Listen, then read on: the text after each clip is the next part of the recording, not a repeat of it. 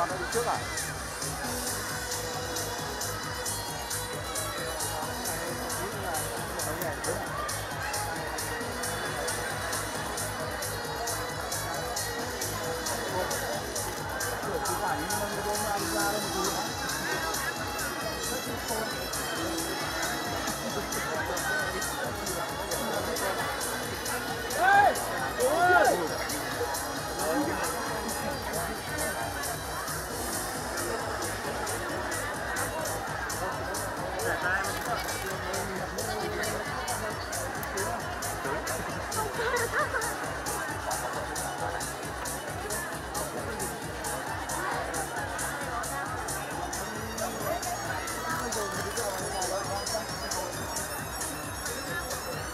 quay kiếm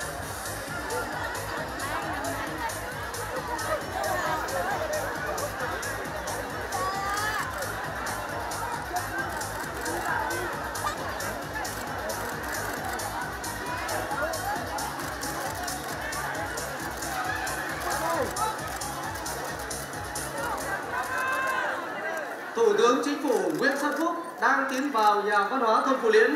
đề nghị các vị đại biểu, các đồng chí cán bộ, đảng viên cùng toàn thể nhân dân đứng dậy, vỗ tay đón chào Thủ tướng.